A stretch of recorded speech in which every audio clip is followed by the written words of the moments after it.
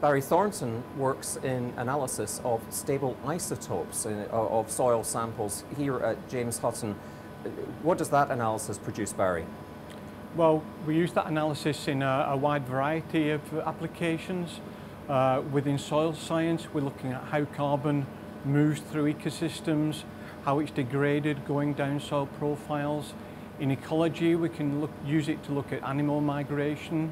Uh, also, for the food industry, we can provenance food.